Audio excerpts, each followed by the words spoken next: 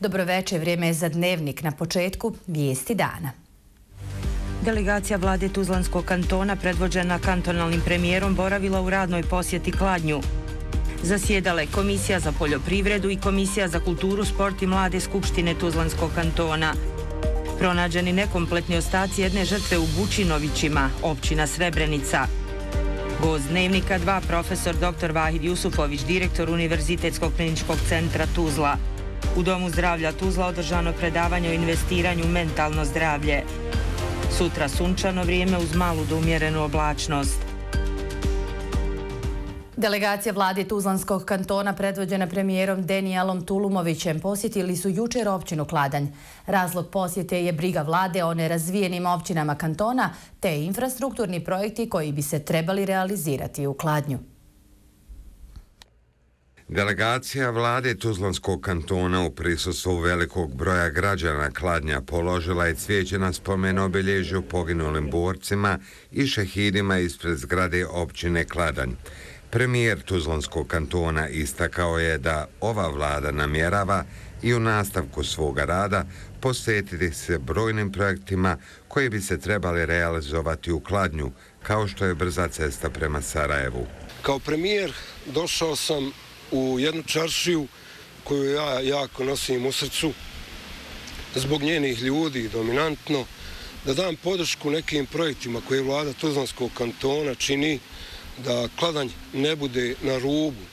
To je prevashodno e, projekat ubrzane ceste ili brze ceste za Sarajevo, jer u prethodnom periodu vidjeli smo da ove male čašije bosanske kladanj olovo ostaju na repu cestovne izgradnje u Bosni i Hercegovini, da ne bude i da nam se ne dešava da e, jedan egzodus naroda sa ovog prostora. Premijer je naglasio i da će vlada Tuzlonskog kantona u narednom periodu posebnu pažnju posvetiti nerazvijenim općinama kao što je Kladanj.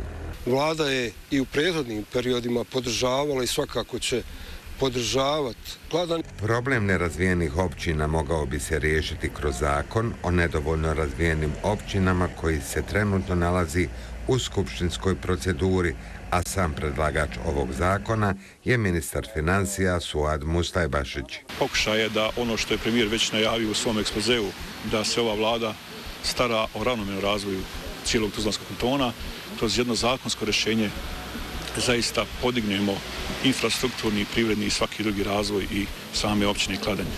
E, poznajem dosta ljudi iz područja ove općine. Znam da je tu riječ o dobrim ljudima, ljudima koji su vrijedni i mislimo da ova čaršija, ovaj grad treba da živi jedan procvat. Domaćini delegacije vlade Tuzlanskog kantona bile su pomoćnik ministra za trezor Bahrija Jusupović i Mirhat Čaušević, poslanik u Skupštini Tuzlanskog kantona. Oni su premijera i ministra financija upoznali sa neiskorištenim resursima ove općine. U ovom periodu taj problem novca nije toliko izražen koliko je problem nedostatka odgovarajućih projekata.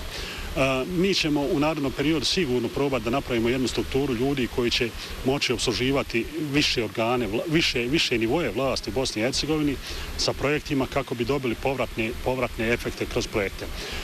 Naravno, ovdje je najvažnija ta kopča koju imamo sa višim nivoima vlasti. Bahrija Jusupović naglasio je i da kao kladnjak već pomaže vladi Tuzlanskog kantona za osmišljavanje sveobuhvatne strategije razvoja ove općine. Naša strategija će biti da budžet vraćamo građanima. Znači dio budžeta koji se može vratiti građanima kroz kroz određene nakane, kroz određene pogodnosti u svim sektorima, pogotovo u sektoru obrazovanja, kulture i sporta, a da ovaj dio infrastrukturnih radova, infrastrukturnih projekata, privrednih projekata baziramo na, na sredstvima koja bi proizašla iz saradnje općine Kladanj sa višim nivojima vlasti. Posjetu delegacije vlade Tuzlanskog kantona propratili su i brojni stanovnici Kladnja koji daju podršku vladi Tuzlanskog kantona od koje očekuju pomoć u razvoju njihove lokalne zajednice. U okviru priprema za naredno skupštinsko zasjedanje sjednicu je održala Komisija za poljoprivredu Skupštine Tuzlanskog kantona. Razmatrani su izvještaji o poslovanju dva preduzeća iz Tuzlanskog kantona koja nisu dobila potrebnu podršku članova komisije. Riječ je o veterinarskom zavodu Tuzlanskog kantona i javnom preduzeću Šume TK. Razlog negativne ocjene za ova dva preduzeća su loši rezultati poslovanja u prošloj godini. Gubitak javnog preduzeća Šume Tuzlanskog kantona sa prošlom godinom iznosi 2 miliona i 600 hiljada maraka. Zbog pristizanja novih finansijskih obaveza i tužbi, očekivanja su da će ovaj poslovni minus iznositi oko 4 miliona, potvrdio je Husein Tokić, predsjednik Komisije za poljoprivredu. S obzirom da su Šume Tuzlanskog kantona strateški resurs za naše područje, Tokić poziva vladu i Skupštenu Tuzlanskog kantona kantona da se u rješavanju ovog problema maksimalno angažiraju.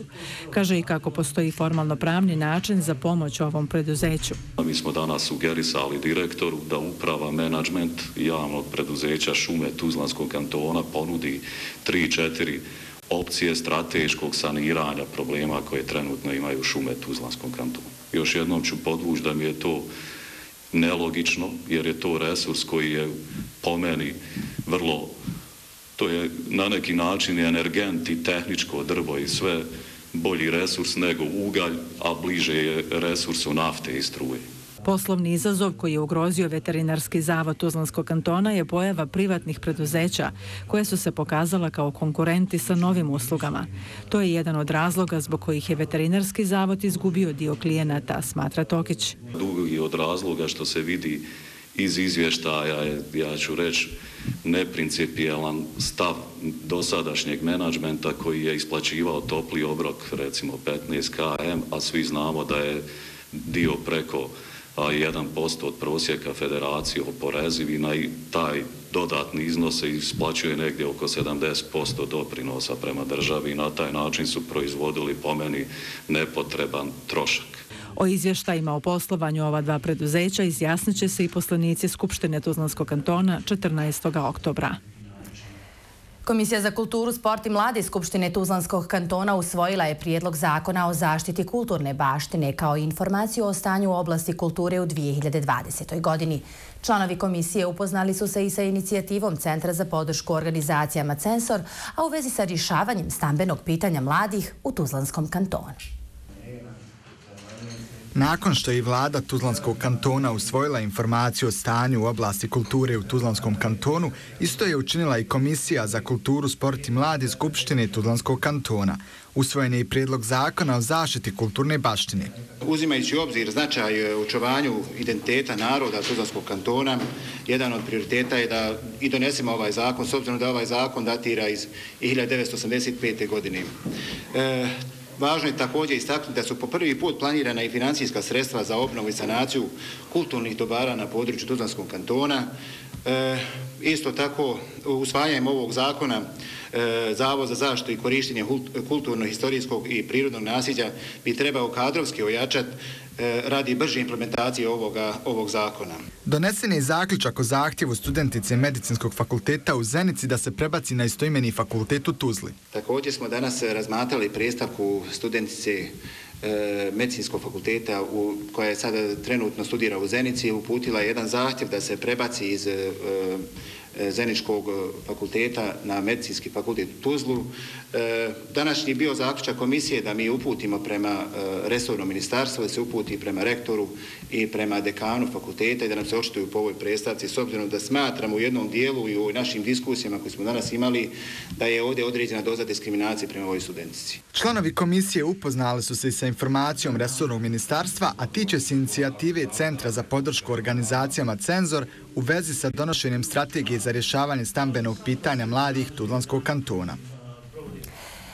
Nekompletni posmrtni ostaci jedne žrtve proteklog rata pronađeni su prilikom asanacije terena na lokalitetu Glibovi u mjestu Bučinović i općina Srebrenica.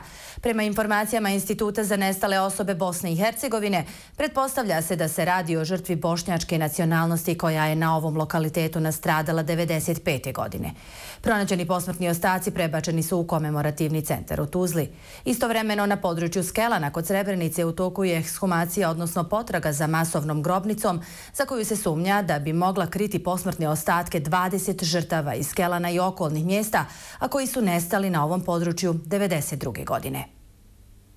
A iz inicijative Moja adresa Srebrnica pozvali su Centralnu izbornu komisiju Bosne i Hercegovine i druge nadležne institucije da izvrše hitnu istragu i ponište neregularne prijave putem pošte iz Srbije. Od 2301 registriranog lica za glasanje putem pošte za područje opštine Srebrnica, njih oko 900 je registrirano za glasanje iz Srbije.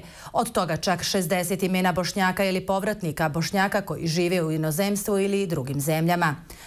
Osim njih, poručuju iz ove inicijative, mnogi se građani srpske nacionalnosti koji žive u gradu i rade u institucijama na području opštine Srebrnica također nalaze na spiskovima za glasanje poštom. A vašoj pažnji preporučujemo emisiju intervju večeras u 20 sati o aktuelnim dešavanjima u Srebrenici sa gospodinom Alijom Tabakovićem, zajedničkim kandidatom probosanskih stranaka za načelnika Srebrenice, razgovarala je kolegica Alma Krđalić.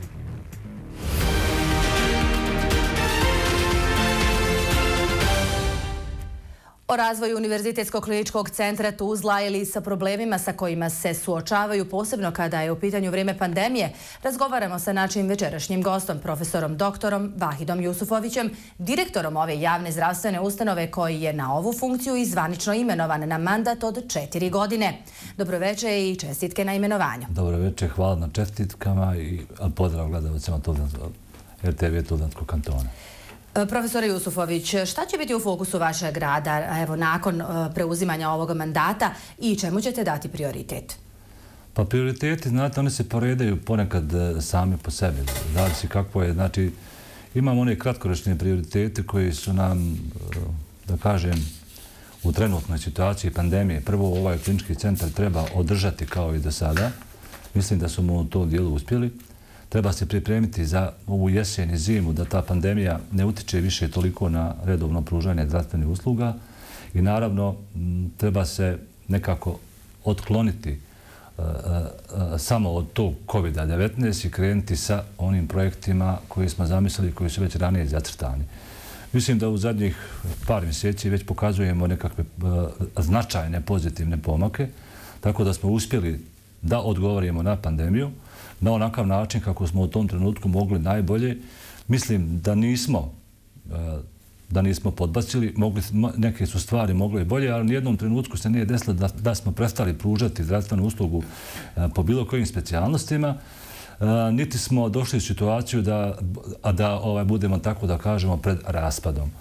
Što nam je u jednom trenutku bilo predviđeno, ne samo nama, nego i drugim ustanovama na teritoriji Bosne i Hercegovine, Na sreću to se nije desilo, ljudi su izdržali. Znači, ovo ipak, hajde tako da kažem, jedan dio bitke koji treba dalje nastaviti. Vidim, e, Evropa se već okiva ponovo sa COVID-19, pa vidim da je u određenim situacijama situacija teža nego kod nas, ali nas to ne treba zavaravati. Ljutim, da direktno odgovori na vaše pitanje. Mi imamo nekoliko projekata koji su nam e, neophodni da bi e, bitisali i da bi bili prepoznatljivi na medicinskom tržištu. Znači, nastaviti već zaustavljanje projekte pod broj jedan, e, što se tiče edukacije i daljeg razvoja, to je prije svega već su kolege koji su gostavali u nekoliko navrata ovim emisijama govorili, to je transplantacijska medicina koja se mora nastaviti. Mi to kod nas treba da bude rutinska. Vršimo pripreme i neke smo stvari i radili u toku pandemije. Znači, možemo reći da smo jedina ustanova na teritoriji Bosne i Hercegovine koji uopšte radila transplantacije. Radi se o, o transplantaciji matičnih ćelija koštane srži, koja se radi danas za ovo vrijeme. Znači, kad je sve praktično stajalo, oni su radili šest vrlo složenih transplantacija.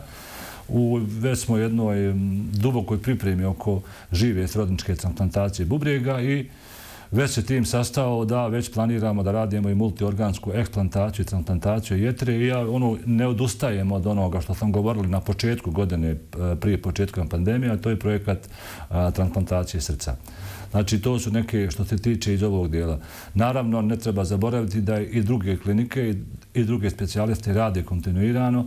Evo, bili ste svjedoci u nekoliko posljednjih dana da su objavljeni rezultati prvih znači, operativnih zahvata, odnosno novih e, terapeutskih procedura koji se samo radi na UKC Tudla, a to smo bili svjedoci i na to možemo biti ponosni. Eh, e, na izgled neke stvari koje su izgledale vrlo jednostavno kao eh, operacija na otvorenom srcu u epiduralnoj anesteziji, nešto vrlo efikasno s koje smo radili sa kolegama iz Albanije, iz Američke bolnice iz Albanije. Zatim prije nekoliko dana jako lijepa i jako komplicirana operacija angiofibroma kod djeteta, znači kombinacija neurohirurga i specijalista ORL. Pojasnite nam malo te operacije o kojima sada govorite. Dakle, operacija na otvornom srcu u regionalnoj stezi, pacijent je zapravo budan i njegov oporavak je znatno kraći i uspješniji. Slušajte, što se tiče tih operacija na otvorenom srcu, postoje određene situacije koje sigurno daju kardiovaskularne hiruzi, da kod, kod kardiopulmonalne ugrožene pacijenta možda mu je veći rizik opća anestezija, znači duboka anestezija koja može trajati poprilično dugo, nego sam operativni zahvat. Postoji barem, barem desetak procenata takvih pacijenata koji imaju takvu zahtjevnu operaciju, ali im postoji veliki rizik da, da ulazi u opštu anesteziju, zato se pribjegava ovoj vrsti takozvane epiduralne anestezije regionalne, gdje je pacijent praktično uh, dijelom sediran, uh, nema bola, ali je svjestan. Ja sam gledao snimke tih operacija. Po vokaciji sam hirurg, gošni hirurg. Isto tako radim i uopšto i u regionalnu i lokalnu anesteziju. Mogu reći da sam bio ovaj, frapiran. U isto vrijeme ekipa radi e, na otvorenom srcu i razgovara sa pacijentom.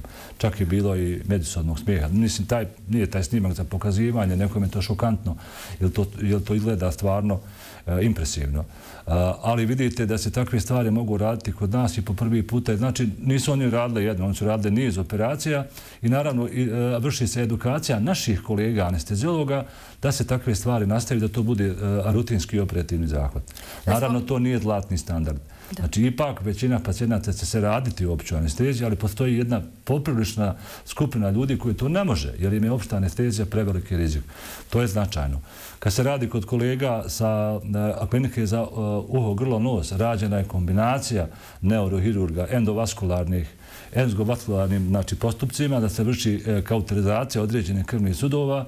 Radilo se o benignom tumoru sa, kako mi kažemo, hirurzi, Eh, vrlo nezgodnom lokacijom. On svojom lokacijom eh, i svojim širenjem pritišće ostale strukture tako da pravi ovaj, probleme i od, u etaži lica, u orbiti i uopšte prema prednjoj lobanskoj jami kolege su to po prvi puta radili ovdje i obično smo takve slučajeve slali van granica Bosne i Hercegovine. To je značajno. Kolegica Devleta Brkić danas je bila na klinici za uho, grlo i nos. Odatle ste i vi otišli na mjesto direktora, pa predlažem da e, pogledamo prilog o operaciji ovog tumora, onda ćemo se vratiti u studio da e, komentarišemo dalje uspjehe ljekara. Samo jedna mala ispravka, ja sam otišao sa očne klinike. Sa očne klinike. Hvala vam. Evo idemo. Juvenilni angiofibrom dobroćudni je tumor koji raste u stražnim dijelu nosa. Riječ je o oboljenju koje se javlja uglavnom u dječjoj dobi. Nažalost, jedan od oboljelih od ove bolesti bio je 14-godišnji dječak koji je prije šest mjeseci doživio saobraćajnu nesreću. Zbog toga je otežano disao te je došlo do čestih krvarenja iz nosa. Iz opšte bolnice Biljina upućen je na UKC Tuzla gdje se nakon dodatnih neuroradioloških pretraga posumnjalo na navedeni tumor. Problem kod tih tumora jeste da su oni e, porijekla e, e, stanica ovaj, endotela krvnih sudova i da su oni strašno vaskularizirani, strašno puno vaskularizirani, te oni dosta više krvare u toku operativnog zahvata u odnosu na sve druge ovaj, slične veličine tumore. Eh, normalno mi smo dijete pripremili, tu su bile kolege sa interventne radiologije, sa neurohirurgije i onda eh, ovaj, uradili smo ovaj, CT angiografiju i onda su eh, onda je tim sa neurohirurgije koji se bavi sa tim endovaskularnim procedurama, ovaj, docent Morankić, ovaj, pod vodstvom docenta Morankića, oni su dan prije našeg planiranog operativnog zahvata embolizirali ovaj, tumor nakon čega smo dijete vratili na našu kliniku i sutradan smo uradili ovaj operativni zahvat. Ono što izdvaja ovu proceduru ističe dr. Altun Babić jeste da je urađena embolizacija tumora zahvaljujući kolegama sa neurohirurgije. Kada vi ovaj, zatvorite dotok krvi u navedeni tumor, onda nama ostaje pod navnicima onaj lakši dio posla ovaj, nije on baš tako lagan, ali znači ostran tumor i šta smo onda uradili, vi kad ostranite tumor onda imate, ostaje vam veliki defekt koji je taj tumor napravio i uspjeli smo da rekonstruišemo sa osteosintetskim materijalom sve te strukture, taj njegov i estetski ovaj, izgled smo, ajmo reći, ovaj, dosta eh, popravili, tako da ćemo, eh, sad i dječak dobro, dobro se postoperativno oporavlja, planiramo ga uskoro ako Bog da pusti kući. Načelnik klinike za bolesti uha grla nosa Almir Salkić ističe da je zahvaljujući uvođenju metode embolizacije u UKC u Tuzla po prvi puta na prostorima Bosne i Hercegovine prema njima dostupnim podacima urađen ovakav tip operativnog zahvata. To je uh, sve završeno zahvaljujući stalnom usavršavanju jeli, našeg uh, kadra unutar kliničkog centra i jednom, e, jednim multidisciplinarnim e, pristupom koji se e, vrši kod ovakvih jeli, pacijenata. To je i dokaz znači, da gotovo sve ovakve tumore od sada u javno zdravstvenoj ustanovi Univerzitetsko klinički centar Tuzla, tačnije klinici za uho, grlo, nos, mi možemo i završiti. Salkić naglašava da će i dalje težiti ka tome da klinika za bolesti uha, grla i nosa bude lider iz domena otorinolaringologije na području Bosne i Hercegovine. Vjerujem da vas ovakvi poduhvati ljekara Univerzitetskog kliničkog centra Tuzla čine izuzetno ponosnim, ali to svakako ne bi bilo moguće bez adekvatne i kontinuirane edukacije. A volim kad čujem ove vijeste. Znamijete, kao, mislim, ja sam, ja, ja sam, evo sada kažem, aktuelni direktor kliničkog centra, ali volim kada ovako ljudi u ovoj kompletnoj situaciji imaju snage, imaju želje i žele da učine napredak. Ne volim prosječnost no, jer ta prosječnost uvijek vuče ka dola, nikad neće povući naprijed. Znači, e, evo recimo danas me opravdavala činjenica, zove me kolega sa hirurgije, evo konkretno reću profesora Obalje Fadbegovića, koji inače po prirodi je radoholičar i čovjek koji želi i umije da radi. Kaže, možemo da raditi subotom. Što da ne? subotom imaju dva teška slučaja, kolege sa anestezije, možemo odraditi subotom, naravno, samo ja uspud da kažem, pored tih zahtjeva, mi smo već imali dogovore, u zaostatku smo sa određenim brojem operacija značajno, pogotovo na nekim klinikama jer onih dva i pol mjeseca, tri mjeseca potpune obustave operativnog programa, samo akutnog i neophodnog, neodložnog, ostavilo je traga. Kad pogledamo te liste, mi moramo do kraja godine barem najvećim dijelom sustići te, te liste čekanja. Znači, na klinici za očne bolesti već se i subotom radi operativni program. Znači, već prošla subota je bila radna. Evo, kolege na klinici za uhogrlonos se bez, znači, pripremaju e, za da već ove imaju subote radne, znači da rade, da skidaju, znači tako da kažem, pojedini broj operacija, pogotovo tonzalektomija gdje su za ostatku negdje među dva do tri mjeseca, roditeljima te djece nije lako, pa i samim pacijentima djeci, znači da idemo polako da taj zaostatak smanjujemo na klinici za radiologiju i e, nuklearnu medicinu e, odavno se već subotom radi onaj zaostatak ovaj, diagnostike e, i izrazili su i drugi želju, znači imaju snage da nakon ovog napornog ljeta koje je bilo puno gore nego onaj početak pandemije, polako sustižemo ono što smo radili 2019. godine, a sada iz opravdanih razloga nismo stigli. Paralelno s tim radi COVID bolnica, COVID ambulanta i respiracijski centar. Znači, nije lako Eh, ali ima, ima posla i mene u, u svakom slučaju raduje ta pozitivna energija. Želim među ljude uvesti taj nekakav pozitivni takničarski duh u tom smislu da vidimo kako da budemo bolji. I oni to pokazuju. I to je onaj, da kažem, taj dio uh, profesionalizma i kod doktora i kod medicinskih sestara, medicinskih saradnika koji eto čini tu sredinu da kažem, probitačnom u nekom smislu. Ništa to ne bi bilo moguće bez kontinuirane edukacije ljekara i medicinskog osoblja. Govorite o tom entuzijazmu, njega ne manjka ni u ovoj oblasti saradnje sa drugim kolegama i konstantnog učenja koje je u medicini svakako neophodno. Znate kako, naše edukacije, mi znači praktično od početka ove godine nismo imali značajniji skup naših doktora, niti kongresa iz bilo koje, e, koje oblasti znači, medicine, niti on bio kod nas, niti bio u našem bližem okruženju. Ljudi su se vratili, znači praktično otkazane su i evropski kongresi, neki su održani online, ali nije to to, nije to, nije to, ta, nije to taj kontakt. Ali ipak su kolege našle načina i prostora da dovedu ljude i drugih država.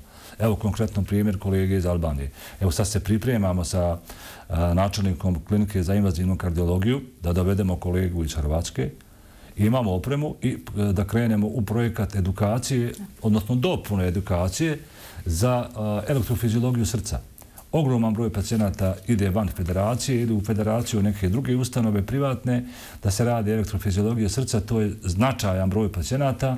Najveći dio te opreme imamo, imamo educiran kadar, treba će nam supervizija.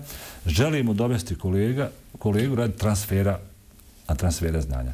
Znači, i ovdje postoji jedna pozitivna, pozitivna priča. Mada razgovarao sam sa kolegom juče. E, nikad, kaže, punije nismo bili. Klinika za invazivnu kartilogiju je puna. Nažalost, nažalost ima jako puno tako da kažem, zapuštenih slučajeva i kod nas i u okolini, tako da svi pacijenti manje više iz ove regije gravitiraju u toj klinici, tako da kaže, nemam, kaže, ni jednog kreveta angiosala, non stop radi. Isto tako i na kardiovaskularnoj urgiji, ortopedi imaju, imaju posla preko glave. Ja sam rekao, i, kod njih je ta lista čekanja polako se smanjuje. Kod njihove operacije do duše su duže i rade se skoro sve u opštoj anesteziji. Evo i s njima pregovaram, odnosno gledam način kako, da li postoji mogućnost da oni fizički mogu da idrže da rade recimo i subotu da bi sustigli određeni broj operacija. Bojim se da neću nekog propustiti. Bilo bi šteta jer treba spomenuti hematologiju, onkologiju, radioterapiju. Ti ljudi, ljudi e, rade non stop. Nije više problem ni kadar, niti vrijeme. Oprema se poprilično često radi, jer ti linearni akceleratori su stariji od 10 godina i to je plan za nabavke za iduću godinu, ali funkcionišu budu 24 sata do 48 sati, to se pothitno mora popraviti, nađemo načina da to radi, pacijenti nemaju gdje. Zamislite da naši pacijenti za radio, znači da radioterapiju, onkološki pacijenti moraju ići van, van kantona ovo vrijeme pandemije, vađenje testova, boravci i ostalo, ja, to bi bilo jako teško. Tako da je to jedan od, od ovaj prioriteta. Ali, ali, ali kad sve ovo sad govorimo što nije COVID i što je dobro, nemojte zaboraviti ponovo šta je sad trenutno prva linija. Prva linija je COVID bolnica, a pogotovo respiracijski centar. Tamo je trenutno u ovoj situaciji, ja moram to reći odgovorno, najteže. Eh, imamo li dovoljno respiratora u respiratornom centru?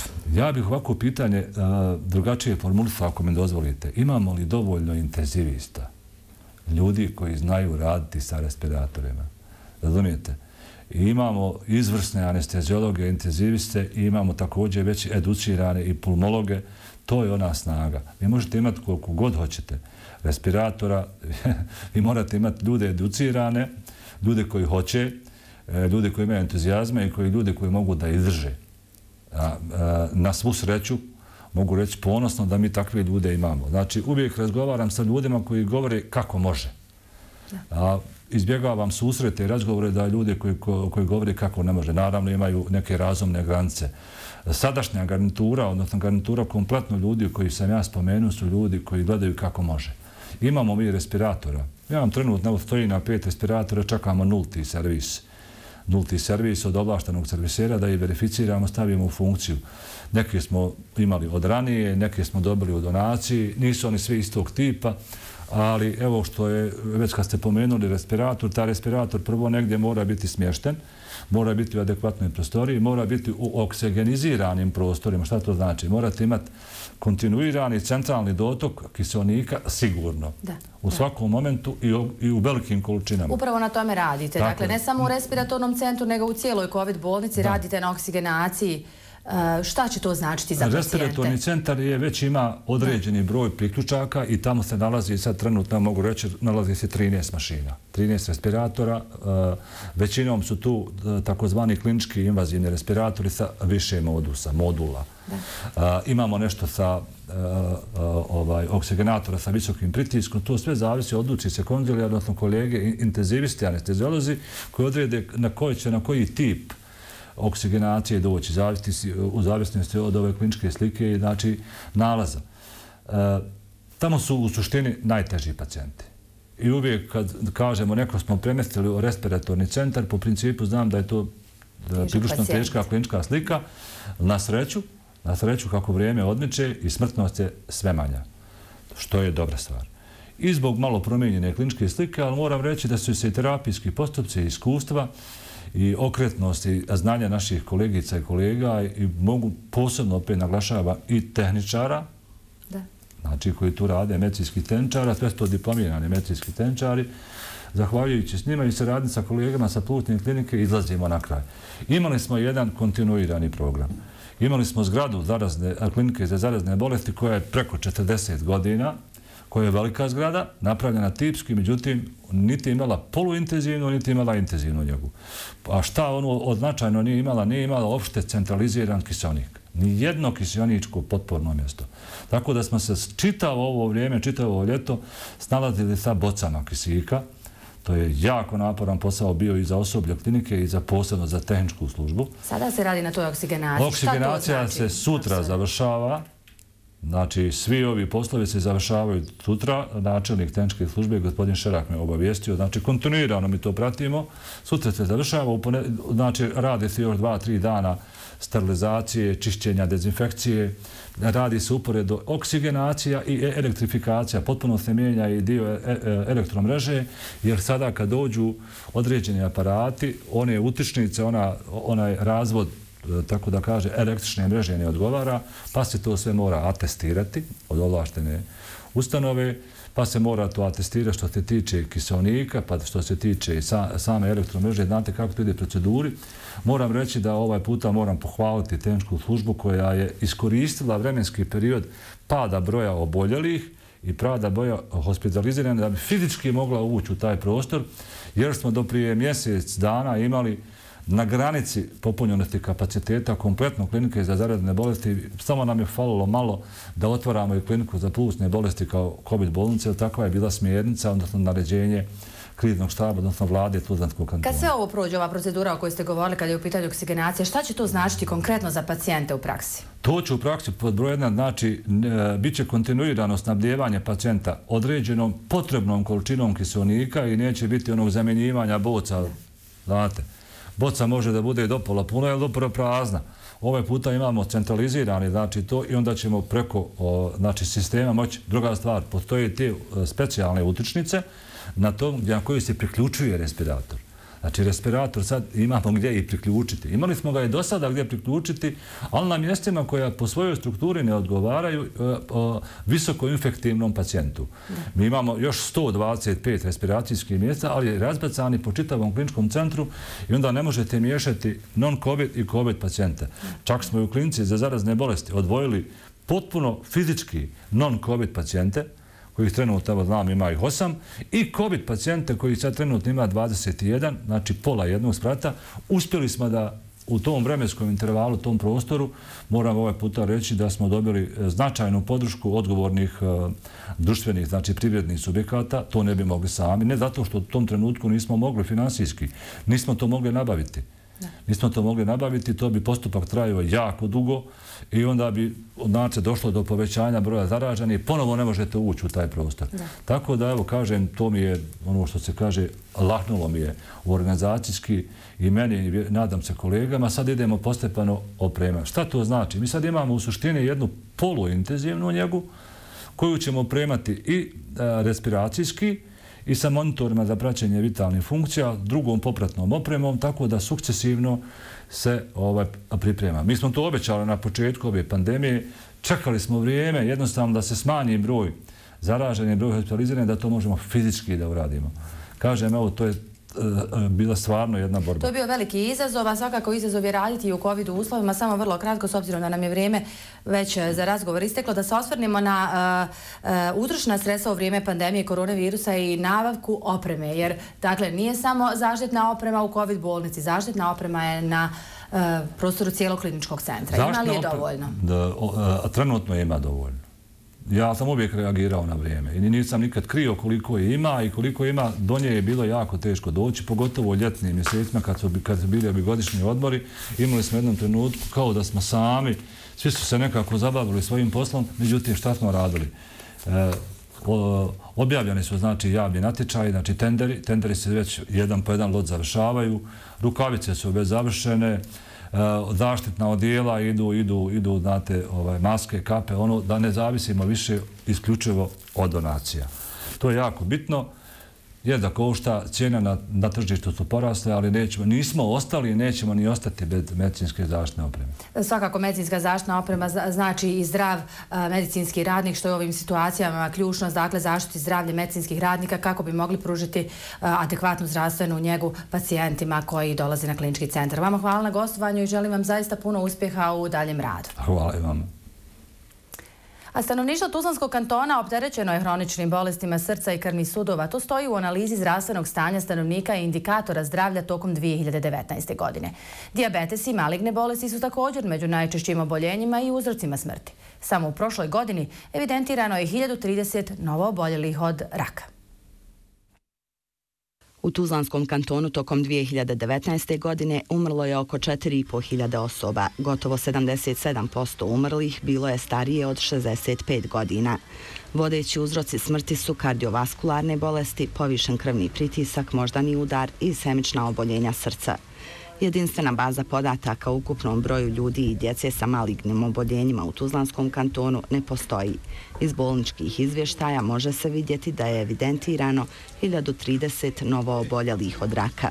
Što se tiče smrtnosti, e, također su je ona uglavnom obilježena hroničnim nezaraznim. Negdje oko 40% svih uzroka smrti su e, ova, cirkulatorna oboljenja, znači ono kardiovaskularna. Negdje oko 21% su mali greneoplazme, a u onaj preostali procenat otpadaju sve, svi ostali uzroci smrti. U analizi zdravstvenog stanja i indikatore zdravlja stanovništva Tuzlanskog kantona u 2019. godini navedena su najčešća hronična oboljenja i razlozi javljanja ljekaru. Tu su e, oboljenja vezana za šećernu bolest, znači diabetes mellitus, e, onda e, oboljenja lokomotornog sistema, to su najčešća oboljenja zbog kojih se recimo uzimaju bolovanja. E, što se tiče akutnih oboljenja, znači zbog čega se ljudi najčešće javljaju primarnu zdravstvenu zaštitu, to su e, akutna respiratorna oboljenja gornjih puteva, e, generalno za kompletnu populaciju vodiča, vodiče oboljenje, s tim što su i u nekim populacijonim grupama češće, u nekim rijeđe. Najviše se javljaju djeca uzrasta od 0 do 6 godina, znači predškolski uzrast. Od zaraznih oboljenja najčešći je bio enterokolitis, dok postotak oboljelih od tuberkuloze opada iz godine u godinu. Posljednje tri godine Tuzlanski kanton bilježi negativan prirodni priraštaj, natalitet opada. Jedine tri opštine koje su imale pozitivan priraštaj su Živinice, Srebrenik i Gradačac. Međutim, i tamo je bio nizak, ispod jednog promila. Kao što smo imali priliku da čujemo u prethodnom priliku, eh, prilogu Bosna i Hercegovina uveliko se suočava sa padom nataliteta i odlaskom mladih iz eh, naše zemlje. A u nastavku putem video linka razgovaramo sa e, doktorom Mithatom Čauševićem koji će sa sociološkog ugla rasvijetliti ovu problematiku. Naš sagovornik obavlja i dužnost predsjednika Komisije za obrazovanje i nauku Skupštine Tuzlanskog kantona, a sa njim razgovara moj kolega Dino Dropić. Dino? Tako je, Ivana. Gospodine Čauševiću, dobro večer. Kažete nam, šta je to zapravo dovelo do nepovoljnog demografskog trenda u Bosni i Hercegovini? Dobro večer vama i vašim gledalcima. E, činjenica, da, činjenica je da se mi u bosansko-hercegovačkom društvu bavimo često posljedicama, a ne uzrocima. 2002. odnosno 2006. kada je u RS, odnosno Federaciji, zabilježen po prvi put više, više umrlih nego rođenih, trebali smo da budemo svjesni da će upravo demografska slika Bosansko-Hercegovačkog društva od tog momenta biti nešto drugačija nego što je to u prethodnom periodu bila.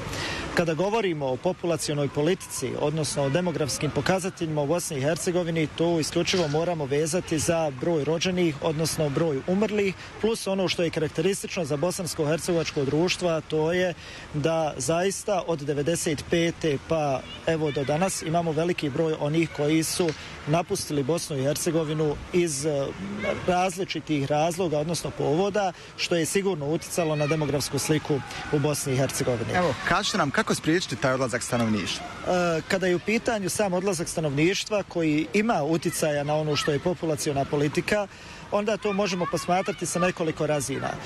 Najčešće su to bile ekonomske migracije gdje su ljudi odlazili zbog vorilih uslova za život, odnosno tražili su bolji svoj status u nekim drugim zemljama.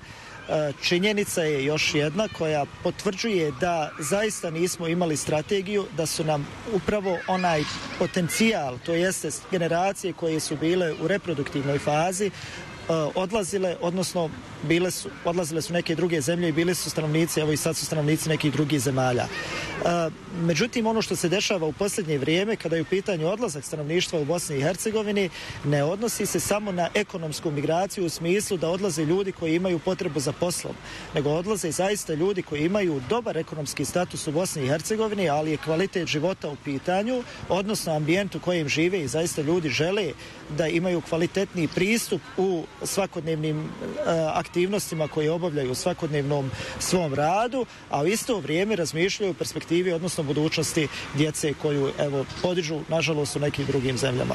Kažete nam generalno kako riješiti problem ti negativne demografske slike? Uh, vidite, mi moramo, kada sam kazao na samom početku da se mi bavimo posljedicama, da nismo dovoljno vodili računa u onom momentu kad je se to moglo popraviti, moramo imati konkretne mjere.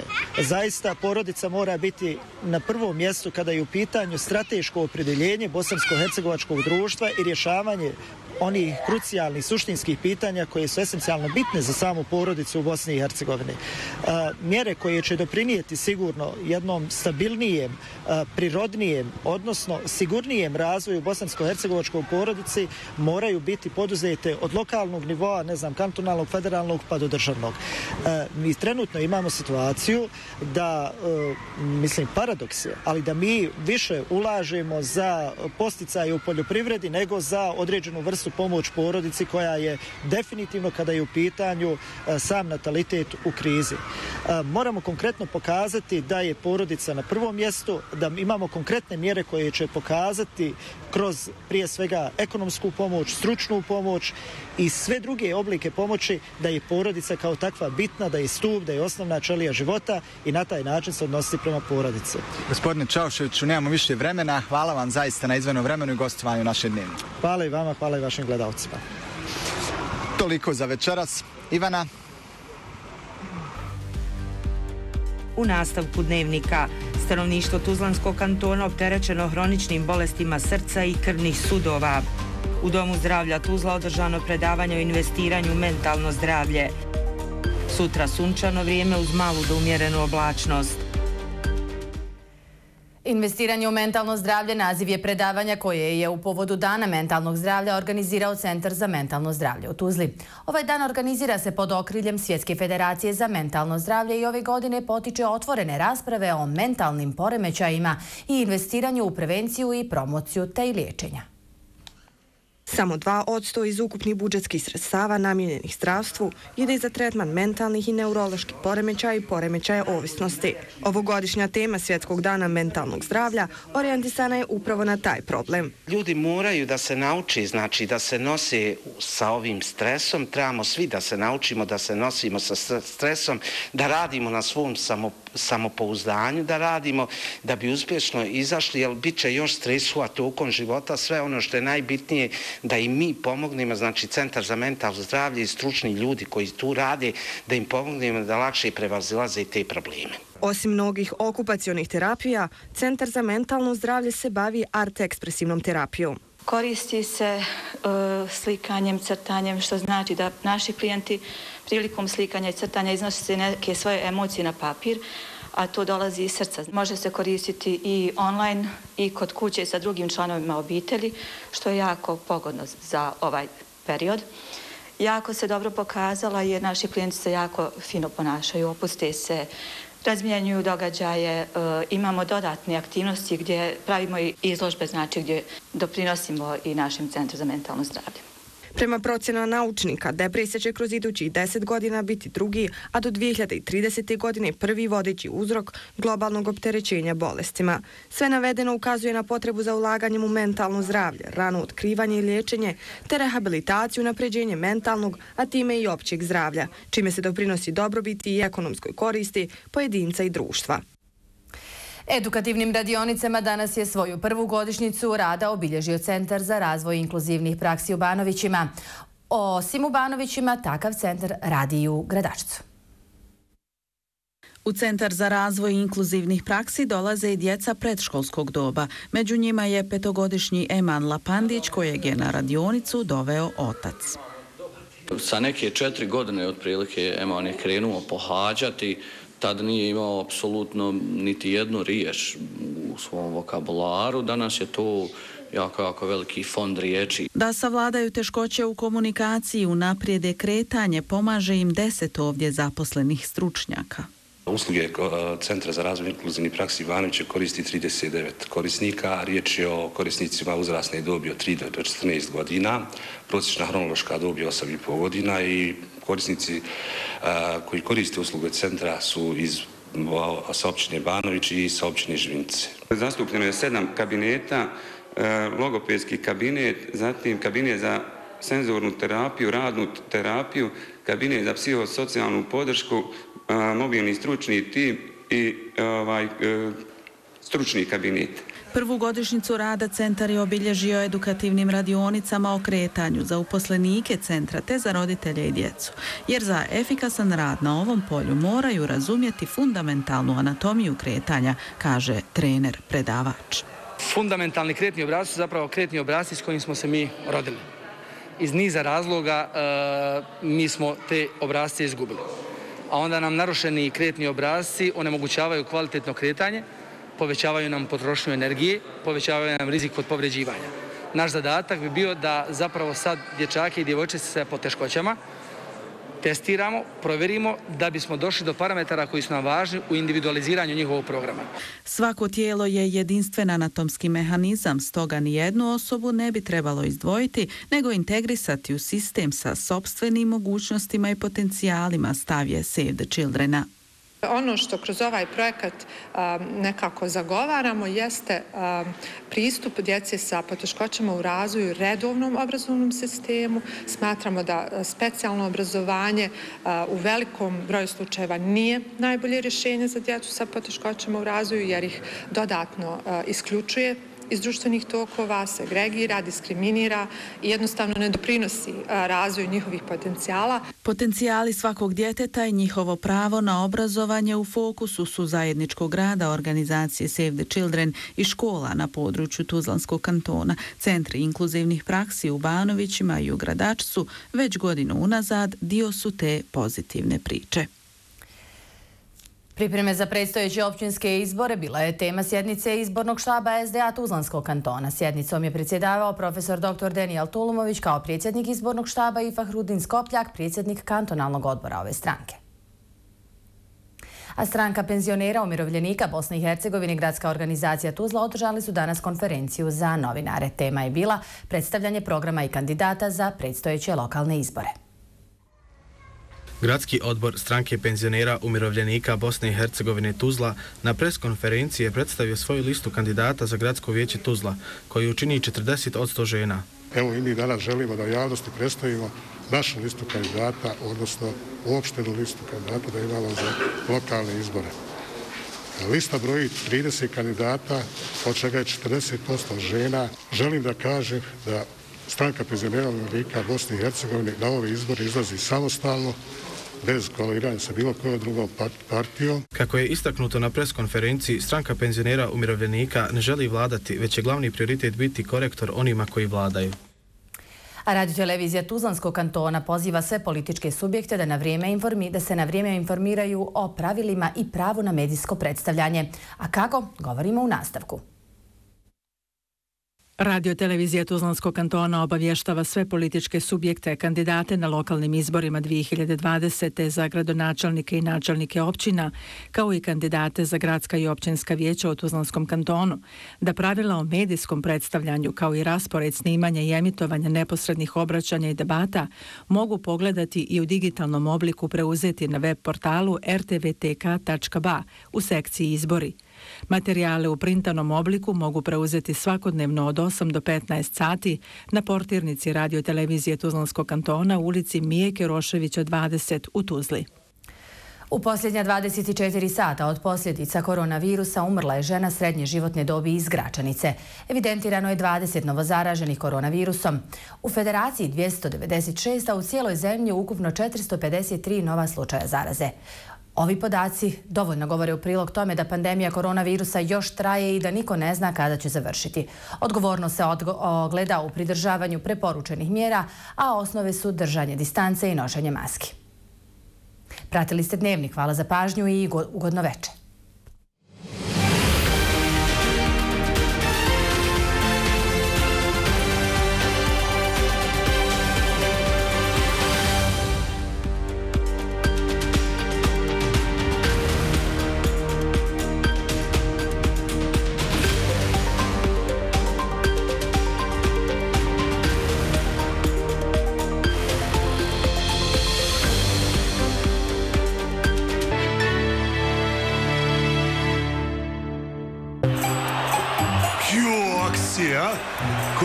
Najboljih dana. Ali vidi ovu akciju si. Dvije stoje mogu biti tvoje. Iskoristi akciju, uvedi Moja TV ili produži ugovor na 24 mjeseca i dobijaš do 200 km na svoj OPA ili bankovni račun. BH Telekom, moja priča. FinConsult vrši upis na 34. ciklus edukacije za vođenje poslovnih knjiga u okviru koje obrađuje financijsko, trgovačko i materijalno knjigovodstvo, blagajničko poslovanje, PDV evidencije, financijski izvještaj. Mjesto održavanja Sarajevo i Tuzla. Rok za dostavu prijava 31. oktobar 2020. Pohađajte najkorisniju i najisplativiju edukaciju. Online prijave na www.finconsult.ba. U Belamionix marketima potražite sok Faner, naranđa i multivitamin 2 litra, 2,95. Deterđent Duel 9 kg, 14,40 km.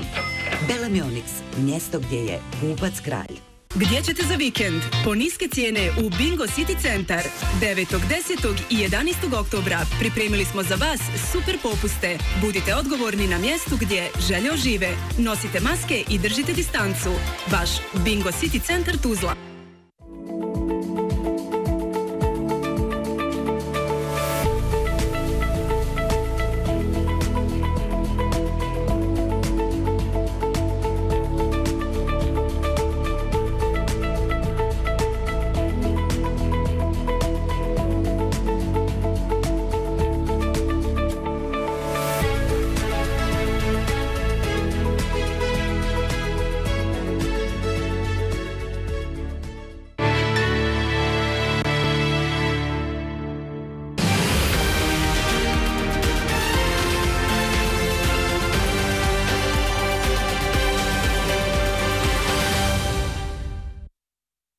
Futbalska reprezentacija Bosne i Hercegovine večeras igra jednu od najvažnijih utakmica u ovoj godini. U okviru polufinala baraža za plasman na Evropsko prvenstvo naša selekcija dočekuje Sjevernu Irsko. Utakmica se igra od 20 sati i 45 minuta na stadionu Grbavice u Sarajevu. Sjeverna Irska je rival kojeg smo već savladali dva puta u prošlom izdanju Lige nacija. Sigurno da da poznajemo dosta dobro Sjevernu Irsku, isto tako kao što i oni nas poznaju. I sigurno da ne mogu oni nas, e, ali ni mi njih iznenaditi nečim, s obzirom da smo igrali dva puta sa njima, ali vjerujem da te dvije utakmice koje su bile, da, da ne treba da nam daju neku, neku lakoću u našoj igri, s obzirom da na neki način mi smo poznati da možemo pocijeniti neku reprezentaciju, ali e, to ne smije da bude slučaj sutra, s obzirom da i oni znaju kakvu imaju priliku da odu na Europsko prvenstvo. Dvije utakmice mogu da budu tamo, tako da znam kakvi su ovi gore sa sjevera i znam da će dati e, i više od svog maksimuma. Tako da moramo biti spremni na sve. Pripremamo se dugo za, za ove dvije utakmice, koliko ima i prije i posle sada skupa sa, sa virusom. Mislim da su u ovom momentu ekipa po kvalitetu bolje, iako smo skoro dobro se poznajemo i veoma znamo kvalitet jednih drugih, ali vjerujem da se jednom, što je i Džeko je to rekao, velikom borbeniču zalaganjem, odgovornošću, ovu utakmicu možemo dobiti, iako je ona po jednom vremenu koje bi se moglo reći da njih više odgovara, ali to ne može biti nikakva, nikakvo opravdanje. Naprotiv, niko ne može kazati unaprijed da će dobiti utakmicu sigur, s nekom sigurnošću, pogotovo po ovakvom terenu. Pokušat ćemo da budemo mi ti, što ja smatram da će neka greška možda odlučiti. Utakmica ako bude vrijeme ovako kao što je danas. Pokušat ćemo, sve ćemo dati od sebe da budemo mi ti da dobijemo utakmicu, da imamo šanse da igramo i drugu, da se plasira. Mada Grbavica neće biti ispunjena, u ovim okolnostima pandemije koronavirusa ipak nešto znači i to što će biti prisutno 1800 gledalaca na tribinama. Bolji iz ovog duela igraće narednog mjeseca s pobjednikom meča Slovačka republika Irska za konačnu nagradu ulaznicu na euro. U derbiju prvog kola premijer Lige Bosne i Hercegovine za rukometaše borac je u Tuzlanskom medanu savladao domaću slobodu sa 26-22, te su se Banja Lučani na taj način revanširali za poraz u polufinalu završnog turnira Kupa Bosne i Hercegovine. Prvo polovrijeme je proteklo dosta izjednačeno igri, a na kraju su na odmor sa jednim golom razlike 14-13 otišli gosti. Borac je u drugom dijelu uspio sačuvati prednost, pa je na kraju slavio sa četiri gola viška 26-22. U pobjedničkom sastavu istakli su se Miloš Nježić sa šest, Saša Poljizović sa pet i Nemanja Vučićević sa četiri postignuta gola. U slobodi Emir Suhonić je postigao sedam pogodaka, Alena Ovčina pet, a Edin Kliz četiri gola. Na otvaranju sezone Gračanica je ostvarila ubjedljivu pobjedu na domaćem terenu savladavši Dervintu 31-23, dok je konjuh poražen u doboju od sloge 33-27. U ostalim susretima su postignuti ovi rezultati. Krivaja, Sloga, Gornji Vakov, Uskoplje 25-24, Iskra Izviđač 32-35, Bosna Lokomotiva 24-33, Slavija Leotar 23-24 i Vogošća Maglaj 27-22. Već za vikend igra se drugo kolo u kojem će Sloboda ugoste Slogi iz Doboja, Gračanica Maglaju, dok će Konjuh u Živinicama ugostiti Derventu. U tehničkoj organizaciji kluba specijalnih sportova Tuzla danas je na stadionu Tušanje održano prvenstvo specijalne olimpijade Bosne i Hercegovine u atletici pod nazivom Kraljica sporta i sa nama. Prije svega drago mi je što evo napokon ponovo nakon uh, ovog e, teškog vremena pandemije COVID-19 uh, e, ponovo se sport uspostavlja ne samo na području Tuzlanskog kantona, grada Tuzle i Bosne, nego i Bosne i Hercegovine. I evo državno prvenstvo specijalne pijade u atletici u teničkoj organizaciji kluba specijalnih sportova Tuzla ponovo je dočekalo takmičare iz devet bosansko-hercegovačkih klubova sa stotinu gotov takmičara i zaista mislim da će danas ako nas još i vrijeme posluži svi takmičari pokazati svoje kvalitete, pokazati ono što se zaista moglo u ovom vremenu e, teškog e, izola, teške izolacije svega onoga što je pružila pandemija, ali ja kažem, mislim da sport zaista pobjeđuje sve i evo danas ponovo državno prvenstvo atletice specijalne olimpijade. Nadam se da će proteći onakvom redu kako svi to i očekuju i da će svoje rezultate pokazati na najbolji mogući način. Nastupilo je blizu stotinu takmičara iz 15 ekipa, a takmičenje se u tri divizije odvijalo u šest disciplina. Trke na 50, stotinu i dvije stotine metara, skok u dalj, bacanje kugle i bacanje loptice.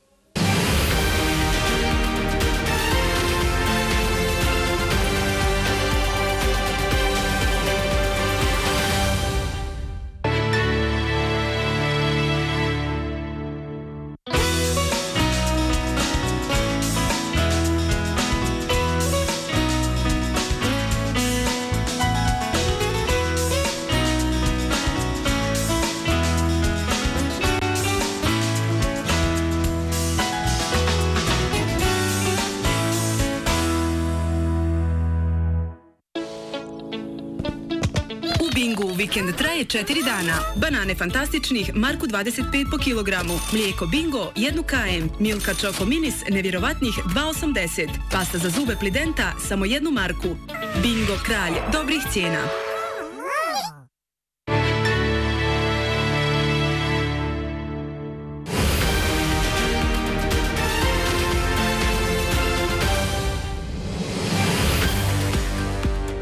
U većem dijelu zemlje prevladavalo umjereno do pretežno oblačno vrijeme. Slaba kiša u centralnim, istočnim i sjeveroistočnim područjima Bosne.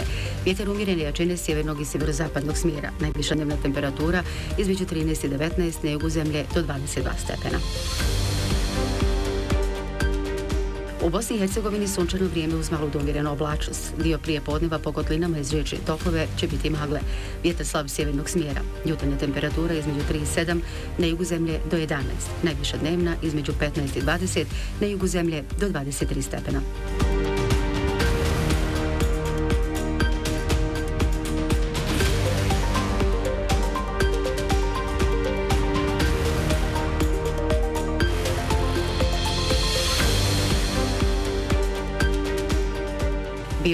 Teška situacija pogodoveće hroničnim bolesnicima, ali se dodatna pažnja ipak savjetuje osobama sa srčanim tegobama, a u jutarnjim satima pojačane tegobe mogu osjetiti i astmatičari. Zbog nestabilnih vremenskih prilika i učestalih lokalnih padavina, vozačima savjetujemo pojačan oprez. Na magistralnom putu Nemila tunel Vranduk zbog izvođenja neophodnih radova na gradilištu autoputa obustavlja se saobraćaj u noćnim satima. Za vrijeme obustave putnička vozila koriste lokalnu obilaznicu, dok vozila preko 7,5 tona mogu koristiti alternativne pravce Doboj, Šički, Brod, Sarajevo i Žepče, Zavidovići, Olovo, Sarajevo. Na graničnim prijelazima trenutno nema duži zadržavanja. Na graničnom prijelazu Hum nije dozvoljen ulazak u Crnu Goru, dok je na graničnom prijelazu Meteljka ulazak u Crnu Goru moguće 7 do 19 sati. Granični prijelaz Deleuša zatvoren je zbog radova. Prema izvištaju Ministarstva za prostorno uređenje i zaštitu okolice Tuzlanskog kantona, kvalitet zraka na dan 7.10.2020 godine odgovarao je kvalitetu čistog zraka na lokalitetima Skver, Bekace, Bukinje, Lukavac i Živilice. Detaljne informacije o satnim mjerenjima pojedinih parametara kvaliteta zraka na stacioniranim i mobilnim mjernim stanicama u Tuzlanskom kantonu pogledajte na web portalu rtvtk.ba.